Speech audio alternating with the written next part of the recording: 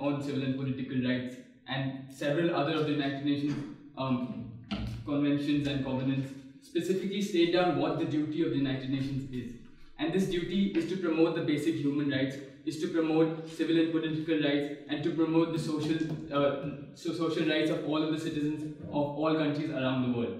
We believe by supporting the so-called war on drugs, which is specifically targeted at specific communities, is specifically targeted at certain countries, and is completely detrimental to a large proportion of the population of the world. The United Nations is taking away from its moral duty to actively support human rights, is taking away from its uh, moral duty to make sure that people around the world are uh, um, have uh, basic access to things like public welfare, have basic access to things like rights, and that uh, countries and state governments cannot actively take away or curtail their human rights. I'll take you in a minute, please.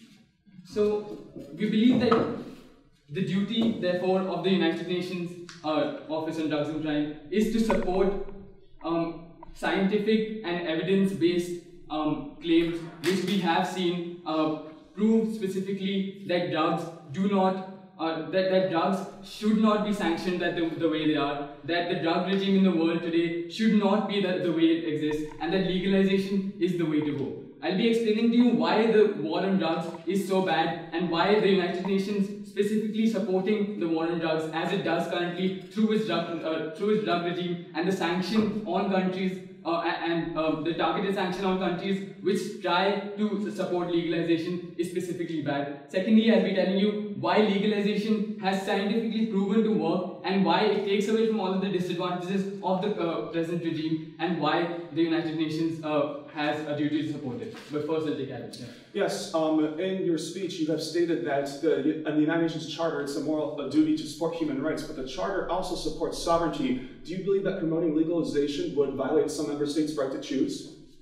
Exactly. We don't think, we think that what the current war on drugs has done or what the current prohibitionist stance that the United Nations supports is violative of a lot of countries' sovereignty, right? Because let's look at how it works. This is a war that hasn't been promoted or has not been supported by a majority of the countries in the world. This is something that has been supported by a majority of the funders of the United Nations and as I'll get to this later, we think that is against another duty, another moral responsibility of the United Nations, which is to remain neutral to all countries around, around the world, right? So we know that the war on drugs is specifically supported by a lot of Western European and uh, the United States, which um, which use these as, uh, as, which has used this as a tactic of international uh, relations and to increase the international power, right? But let's look at who doesn't support this. And we can see this from over the past year about the way Latin American and certain South Asian countries have actively come out in support of legalization and in support of their own populations uh, and uh, have called out against the human rights abuse uh, which has been caused by the war on drugs, right? Countries like Bolivia, countries like Uruguay, and countries like even Brazil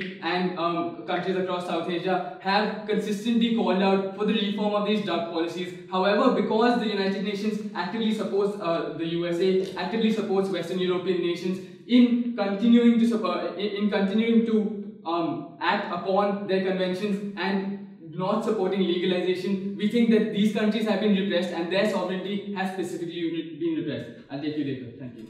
So we do support scientific evidence-based channels which show a general trend towards legalization, right? And why is this? Because we believe that the current prohibitionary stance or the current criminalization stance which is promoted by the three UN treaties, uh, maybe not specifically, but at least generally in that they seek to uh, they seek to sanction and prosecute nations who do support legalization. For example, they sought to prosecute Switzerland last year, or for example, they, uh, they uh, for example they support the United Nations tra uh, trade bans and trade restrictions on uh, uh, Bolivia and uh, Cuba, for example, we think that these things are really, really bad, right? Secondly, we think that there are four major impacts on human lives and human liberties here. We think that it promotes human rights abuse because A, it has an adverse impact on human liberties. We think that the human right to choose what to do with yourself, how to go about man, controlling your own body and how to make free choices is significantly impacted when a state decides to criminalize certain activities of human beings. We think that this is a completely unscientific restriction on liberties in most cases, especially in the case of certain soft drugs like marijuana or and drugs scientifically proven to not have the capability to harm people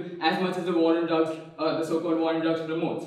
Secondly, we think that it has an especially detrimental impact on disadvantaged minorities, right? Because we've seen the way the uh, drug war has been used, has been specifically targeted against certain disadvantaged min minorities to say put them in jail or put them through certain seizure procedures which are detrimental to their human liberties as well. We've seen this in the United States and we've seen this in certain other countries like the way the United States has constantly uh, managed to infringe um, uh, infringe its duties towards the United Nations in uh, promoting drone strikes uh, against Afghanistan, which the UNODC has not never uh, done actively done anything about, right? And we think that this is inherently uh, related to drug uh, supporting drug legalization because as long as the UNODC has no specific stance on whether it believes drug legalization is good or not, it, uh, it, it, remains vague and it allows the, uh, the US and other nations to constantly infringe upon the, the sovereignty of its own citizens as well as the citizens of other states because uh, specifically because it does not uh, have any more channels and it does not um, have the mandate uh, and uh, it does not have the mandate or the moral responsibility to actively discourage these nations from committing these breaches of sovereignty and human rights. Thirdly, we think that it significantly impacts uh, more peripheral things like the uh, human right to health, right? Because once you criminalize people who in many cases uh, may be sick, who may be actively addicted to certain drugs and have no other way of coming out of it, and the, we think that uh, criminalizing drugs actively takes away from their right to access the, these public health forums by deterring them from active, uh, ever actually entering into them. Fourthly, we think that it has a significant impact on um, countries which where traditional uh, communities use these drugs, uh, use drugs like the coca leaf, use drugs um, like marijuana as a long part of their cultural and uh, cultural and historical traditions. And for all of these reasons, we think that the United Nations should support drug legalization. Thank you.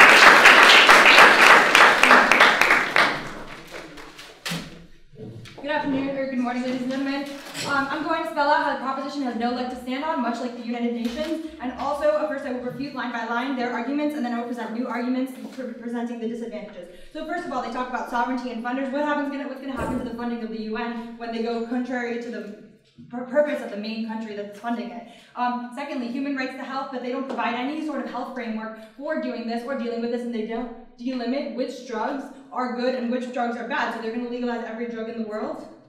Um, uh, so for so for example, uh, heroin. Uh, next, um, they're going to talk. They talked about the huge impact on disadvantaged minorities. In the United States, incarceration rates are increasing for whites just as uh, just as much as they are increasing for blacks. And so, while it does dis has disproportionately in the past uh, affected minority communities, it hasn't always.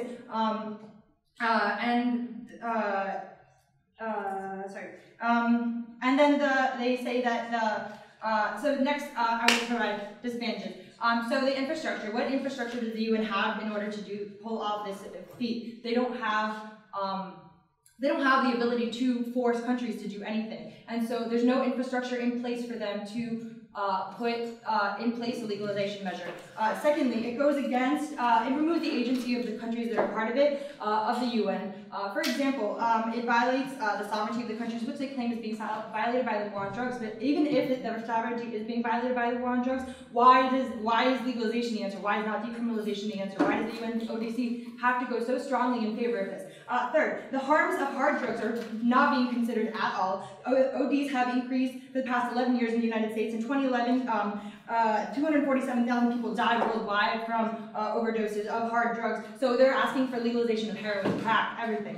Um, I'll take you in a second. Uh, then, uh, next, uh, the UN, the, through this, by legalizing, it removes the basis for cooperation of the previous UNODC treaties previous O.U. and ODC treaties uh, are based on are comprehensive and universal, and they're based on drug control. So by removing, if we legalize, then we're nullifying the previous treaties, and therefore there's no purpose for cooperation anymore. And finally, uh, the UN ODC is focused on drugs and crime, and so by doing this, they're going to increase drug-related crime, especially transnational uh, or drug organizations and uh, the violence associated with those organizations. Uh, and so it's contrary to the UN uh, ODC's internal focus, which is supposed to focus on uh, transnational uh, organizations, terrorism, and construction, and this promotes uh, uh corruption, I mean.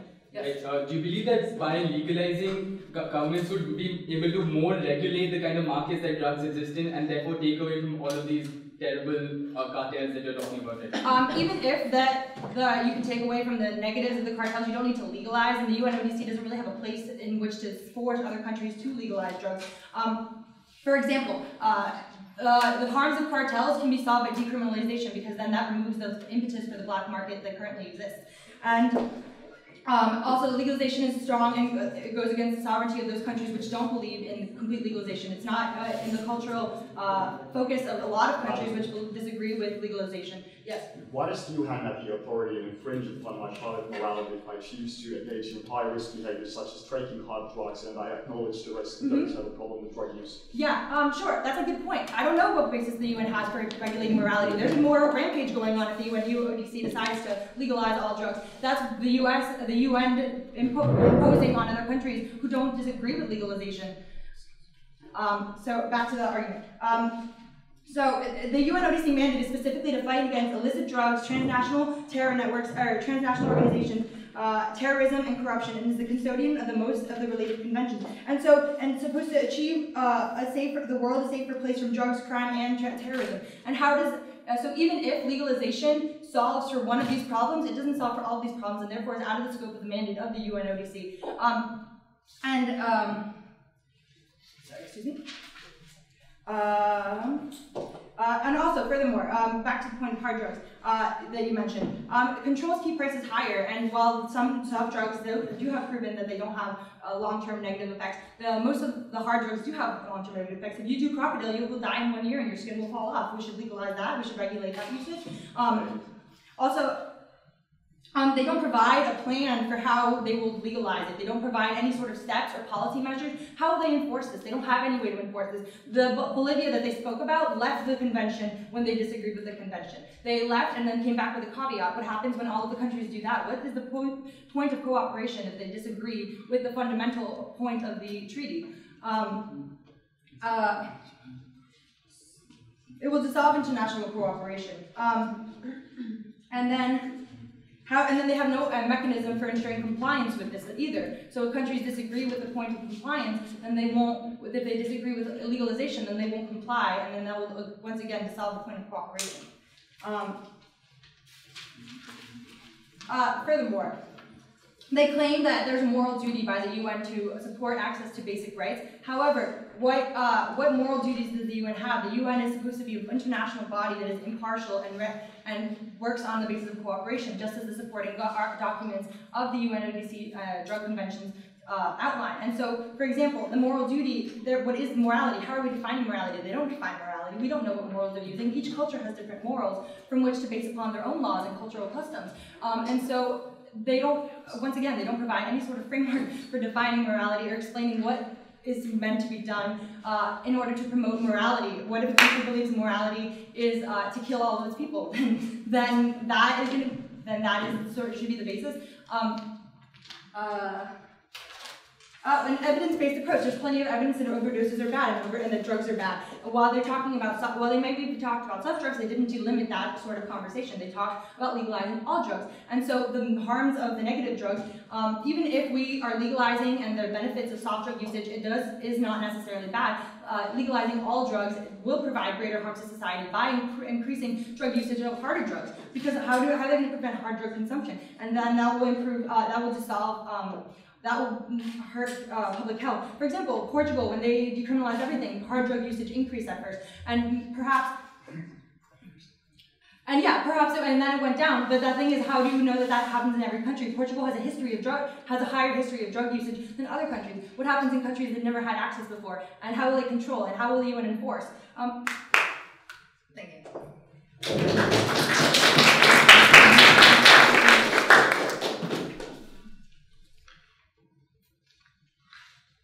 Ladies and gentlemen, the aims of the United Nations are to keep peace in the world, to work together and help people lead better lives, to eliminate poverty and disease, and to encourage respect for rights and the freedoms of people.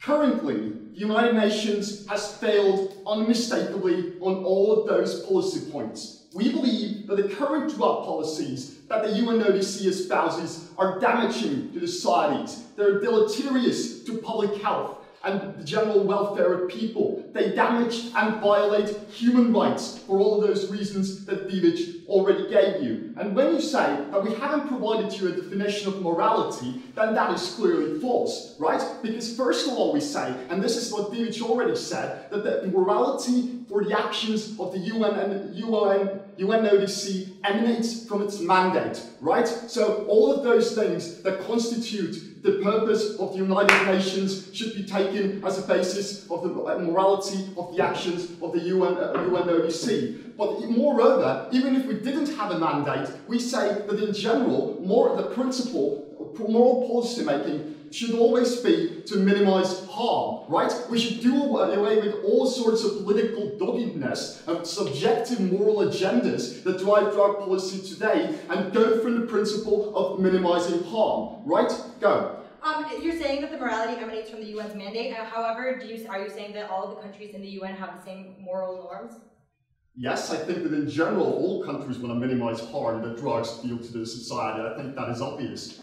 So, um, moving, moving on. So this is public morality, right? But we also, in this, in the case of this debate, have to deal with personal morality. And we don't think that in general, um, as they believe, that states should fringe upon the personal moral choices of people, as we believe that a fundamental part of living a dignified life is to be able to define the constitutive attachments that form your identity, right? And we say that for a lot of people, drug use might be a part of those constitutive attachments and the fundamental culture that those people have, right? For example, chewing coca leaves in Bolivia or doing cannabis in Jamaica, right? We say that engaging in risk-taking behavior can be an acceptable and fundamental part of human identities, right? We don't think that we should ban things, and I think that the opposition probably agrees with us, such as using high-powered motorcycles or rock climbing, or engaging in casual sex without protection, or working in hazardous occupations, such as being a fireman or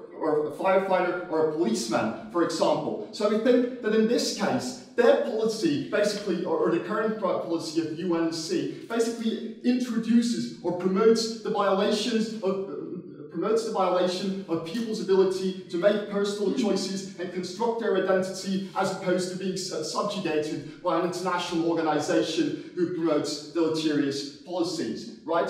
But okay, let's look more closely about what Casey said in her rebuttal. First of all, he said that if we introduce the policy we have, uh, we're proposing, the UNODC would lose funding, right? First of all, we don't think that the UNODC funds drug policies on a domestic level. This money comes from the local governments, right? The UNODC is more a supervisory body. But moreover, and more importantly, if the current drug policies are as deleterious as we say they are, then it doesn't matter if they lose funding because those are bad policies anyway, right? Secondly, we, they said it would be bad to, uh, you know, like legalize all drugs at once. We say that we have a lot of regulatory options available here. First of all, we can phase in those policies, right? We're not saying that we, we, we would have to legalize all drugs at once everywhere. What we are saying is that we should support the general trend of legalization right? We also say that in case of harder drugs, we have a number of regulatory options available they, they, they, they didn't consider. For example, Casey came up and said that we should legalize crocodile. No, we're not going to do that because there's no demand for crocodile when we have heroin readily available, right? We don't have to, we, we don't have to uh, legalize some of the harder drugs. And in the case of harder drugs, we can also do things like we can license the users, uh, we can, we can, you know, uh, put health warnings in the packaging and guidelines for use inside the packaging. And in any, any case, the use of those drugs would be much safer than it is under a status quo where the fact is that those drugs are being used anyway, but they're being used in the back alleys because people don't have access to harm reduction measures such as supervised consumption loops because the current law provides them. This is damaging because, uh, because of this. People engage in behaviors such as sharing syringes and not going to the doctor when someone overdoses because they are afraid that they will be arrested by the police, which has happened in a lot of countries, uh, like my country, Estonia. Right, I'll take Casey. How will the UN regulate drug consumption and licensed users? And also, since you didn't specify it in the first speech, how will you distinguish which drugs are hard and which drugs are soft? We will leave it up to domestic governments. We think that This, there is no one-size-fits-all drug policy, but in general, we should move towards the trend of legalization and decriminalization. We can have decriminalization first, legalization later, um, because the current policies are damaging, but it would be done on a country-to-country basis, right? Um, so, um, they also talked about Okay, what did they talk about? Oh, they talked about sovereignty, right? They said that our policy would violate the sovereignty of the, of the UN member countries. Where this is simply not true, right? Because we're not forcing the countries to make any decisions. We're just talking about promoting a general drug policy trend, which is legalization. We're not going to go there and enforce certain policies, which is what the United Nations currently does, and which has proven to be immensely damaging, right? Um, so I think this, this is pretty much it for rebuttal, right? So we wouldn't lose, like, we don't, wouldn't lose funding, we could phase in the policies and a lot of regulatory options that they, consider, that they haven't considered, um, and no sovereignty would be violated, right? So finally, let's talk very briefly about why we think that the UNODC would be particularly good agent to shape drug-related discourse, right? So we think we would be particularly good agent because UNODC has a sort of a moral authority to shape those sorts of discussions, right? People in general seem to respect the United Nations. And we also say that this is an organization that is in a unique position when it has international ties to most of the governments in the world. It is a, like legalizing drugs is definitely going to be a coordinated effort on an international level. And we think that the UNODC would be the best body to actually manage this coordination process and bring all the countries together to combat things such as international drug trafficking uh, and, and help with legalization efforts. So, in general, yeah, okay. No, sorry, thank you. Please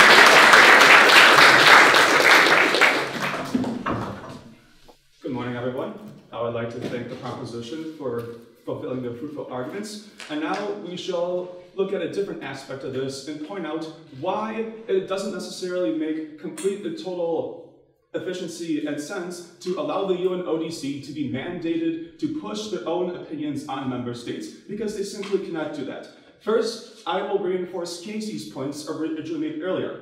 Firstly, there is no global infrastructure for this. To add on to that, the current global infrastructure relates to three major conventions on narcotic drugs.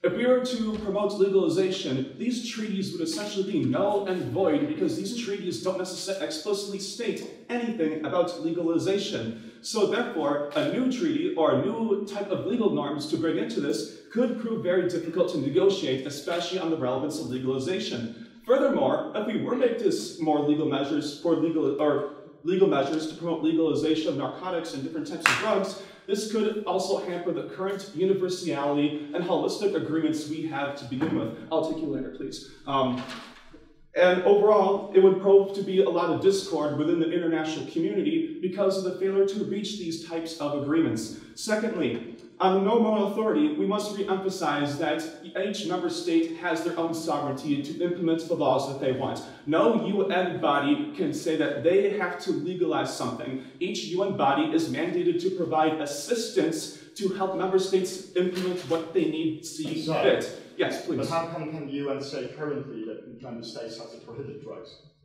No, the UN is nowhere mandated in the UNODC that member states have to prohibit drugs. It states that nowhere. It doesn't even state that in the 1961 conventions, which the UNODC often cooperate and works with, because of the fact that they, what the UNODC emphasizes is drug control. We have to make that distinction between drug control and drug prohibition. Drug control is the act of controlling drugs, whether it means that, you know, what each member state can implement on their own norms, meaning that they could regulate it, prohibit it, or see whatever they need fit. Uh, furthermore, on the moral authority, the, uh, the, the UNODC is mandated by the United Nations General Assembly. but the countries want to see done with the UNODC, they have already told the UNODC to do. Therefore, it doesn't make too much sense to try to push the UNODC to do something it doesn't want to do. And in fact, it's hypocritical to say these countries are pushing other countries to tell something what to do, but then they go tell the UNODC to do something that other countries want to do. It is a completely hypocritical argument. Now to touch upon what uh, our, fellow, our, our fellow proposition said, drug policies are damaging. That is a very, very subjective opinion. How are drug policies damaging? What do they damage? Um, in fact, you could make the argument that some drug legalization policies are damaging. For example, one of the biggest areas for drug trafficking in the world is in the Netherlands, where drugs policies are more liberal. And, and furthermore, if we're going to uh, argue for drug legalization between all countries, it would cause further discord on what different countries want, thus causing discord on legal mechanisms that they want. Um, to also impact on that, the UN is existing to keep peace in the world. Well, one major issue going on in the world is terrorism and transnational organized crime, which is, I'll take you one minute, please, which terrorism and transnational organized crime. Uh, if we were to legalize all drugs, and given the discord that I just mentioned, it could prove fatal that um, due to the discord and lack of cooperation, that terrorism, transnational organized crime can thrive. Do you still want to make your point? Yeah, sure. In terms of drug trafficking, the only, the only reason we currently have a cost of drug trafficking is because it's illegal and countries are unable to produce by themselves. That is, that is an interesting point to raise. All right, the point, the point raised was that drug trafficking exists right now because many countries have prohibitionist type policies. However, that isn't necessarily the fact. As I previously stated, the Netherlands is one of the largest hubs in the world for drug trafficking and drug trade. However, the argument is that because other countries have prohibition means, uh, that doesn't necessarily state that they'll have different ways of legalizing and decriminalizing drugs that could create certain types of black markets for drugs and different types of narcotics. Uh, also, to add on more to that, is that there is also a lot of ambiguity between how different countries would legalize it. Would they would they want to just decriminalize altogether? Would they want to regulate it? How would they regulate it? And to add on to that, if we want to promote all countries to legalize, we have to understand that not all countries have the necessary legal capacity to implement different types of legislation for drug legalization. How will countries in the developing world, the global south, have the necessary funds and capacity to do that? Who is going to provide the money and funding to help them implement their legislation and build their federal governmental capacity if we, if we want to thrust upon them our norms, our laws, our ideals. It is a very idealistic argument to say that other countries have to do what we want to do and to push upon the United Nations to tell other countries they have to do something that they don't want to do. Um, moreover, this, this agenda to legalize all drugs and to push upon the UNODC previously stated is a very moral agenda. Um, for example, uh, the, the delegate brought up that uh, Bolivia had, you know, has its own right to do what it wants with its uh, drug policies. For example, it's very cultural to use cocoa. However, to say that other countries that view drugs as possibly, you know, very harming or very damaging to societal norms, we are essentially saying to them that they that their opinions don't matter, their views do not matter, that what they what they want to do in their society um, should, be, should be applied from a different setting. What works in one setting cannot necessarily work in a different setting. We have to make that distinction in order to realize and understand what types of measure, legal measures and norms we want to provide. Um, over, in conclusion then, we must realize that the flawed argument of wanting to push the UNODC to legalize um, all drugs, or to push member states to legalize all drugs, is extremely flawed. It is a very idealistic idea with no relevant context to the current situation and the current global paradigm that we exist in. Countries lack capacity. They need help. What we want to do is to help countries implement policies that work for them, not tell them to do something they can't necessarily do.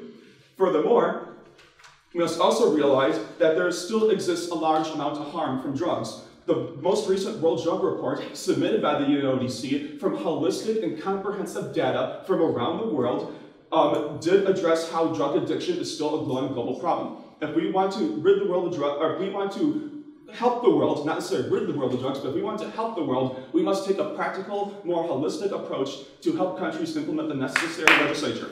Thank you.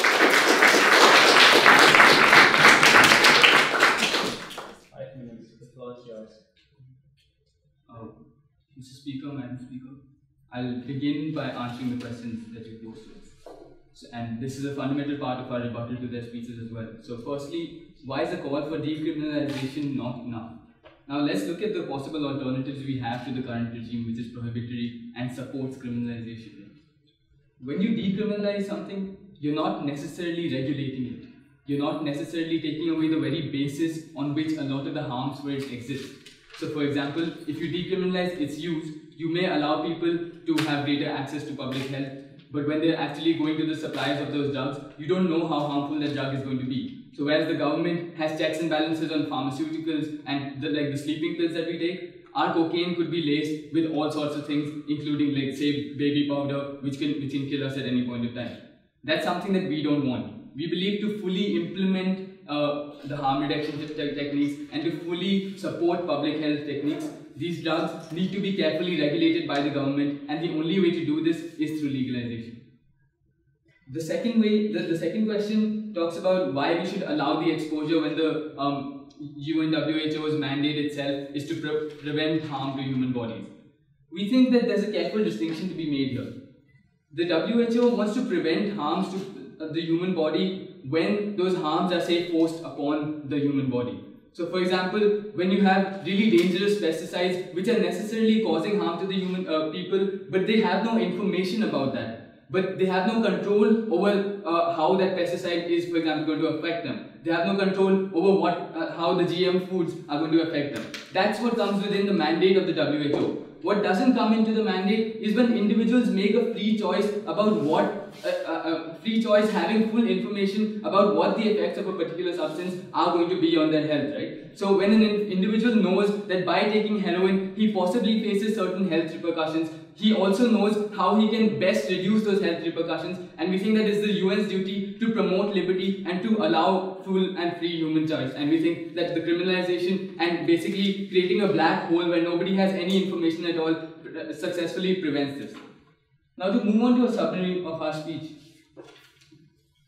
Mr. Speaker, silence becomes implicity when that silence allows you, when the silence allows countries to not only violate and destroy communities within their own nations, but violate the sovereignty and destroy communities within nations everywhere. We think the UN, the UNODC's current stance, which is based largely on silence, is the, uh, uh, on silence and uh, subtly promoting the criminalization by not actively acting out against the human rights abuses commit, committed by countries which do impose penalization is what is against its moral responsibility to promote human rights is against its moral responsibility to actively engage communities and actively promote human rights right so let's look at a few of the things that they said. They said they talk, they talked to you about how it's going to promote discord amongst nations and how we need to have new treaties drawn out. We think that's the entire purpose of the United Nations, right? To have constantly changing international cooperation and to foster international cooperation. It's not a sufficient rebuttal to just say that we'll have to get everybody together and it's going to be really difficult. We think that the United Nations to, needs to fundamentally alter its structures. We think that the way uh, the funders of the United Nations currently control the kind of drug regimes and the kind of regimes and conventions that the United Nations comes up with is the wrong way to go. We think if you want to foster international cooperation, you keep bringing these people on the table and you bang out a treaty which is suitable for the sovereignty and for uh, for to the interests of all uh, countries. We don't think that drug penalization of the current drug treaties actively promote this, which is why the UNODC has to actively promote the international cooperation between these bodies.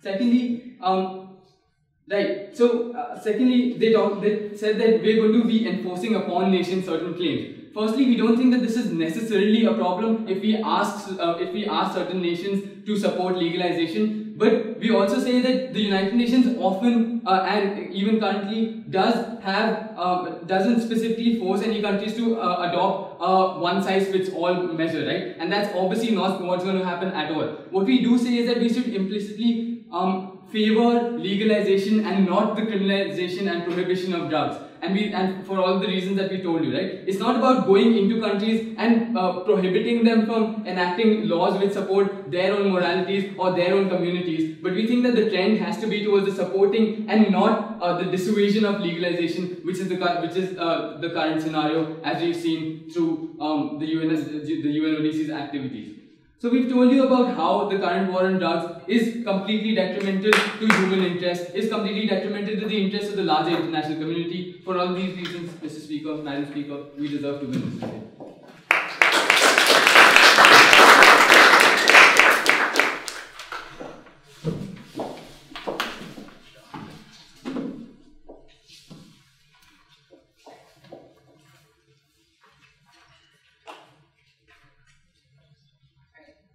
Um, first, I'm going to respond to your questions, and then I'm going to summarize why we should win. So, first of all, why would for legalization be a greater infringement? First of all, legalization is too dramatic a step for the UN. The UN tends to take things incrementally, and legalization without ever discussing criminalization, decriminalization, as we discussed, which is the control is the basis of the current UN treaties, and so to move from control to legalization is a very dramatic step, and one that would, would require a general consensus in the UN, and that the consensus simply isn't there. Um, they talk about a trend towards legalization. These are very few countries they're talking about. Only one country is currently legalized marijuana. That means that there's not a current trend for legalization. Um, and also, uh, it's a hard stance on one side of the spectrum. There's there's a medium medium point. The UN is all about consensus and agreement, and this is not. This is going from immediate all the way to the left, all the way to the right. Um, secondly, should the UNODC take a stance on legalization at all? Um, no, we don't think so. That's too hard, and you can't tell countries what to do. Um, you can recommend things, but you can't. Uh, but you need a consensus, as I said before. And so the no global consensus currently exists. And so without a global consensus, how can the UN really act? What, what support does it have to act? Um, regions have different needs, and a stance would ignore those different needs of those regions. We talk about one size fits all policy. This is the same exact thing, but on the other side of the spectrum. Um, so now I'm going to move on to summarizing our, our arguments. Um, uh, like they said, we need a consensus in order to promote a new drug regime, and there, you can't force this upon countries. Uh, we currently don't have a consensus for a new drug regime. Um, it's going to be decided in 2016. We'll figure it out. Uh, and again, uh, to reiterate, um, legalization, even if the current regime is bad, legalization is not necessarily the solution. Um, furthermore, they never define morality. They keep speaking about how the UN has a moral impetus. What moral impetus? Where is this coming from? They say that it comes from the mission statement. But once more, different countries have different needs and different countries have different cultures and moralities. Um, furthermore, uh, with decriminalization, they make the assumption that the government is the only one that can regulate the drug market. However, in places that have decriminalization, like New York, there's self-regulation and with competition. So there's different delivery services of marijuana, and these companies promote competition and promote the marketing and the branding and all of these things that they are talking about. And so, and also the government is inefficient at regulating certain drugs. For example, prescription drugs. The United States has a humongous prescription drug problem because the government is regulating it. Furthermore, um, we're not advocating the status quo. We're not saying that the war on drugs is a good thing. We're just saying that legalization is not necessarily the solution, which they never really address. They keep making the assumption that we are advocating the status quo. Um, furthermore, uh, current treaties um, as we mentioned, as we, I'm going to reiterate, our arguments current treaties don't mention legalization, and it would end cooperation amongst these countries that have come to a consensus that has been forced, uh, that had been forged in the past.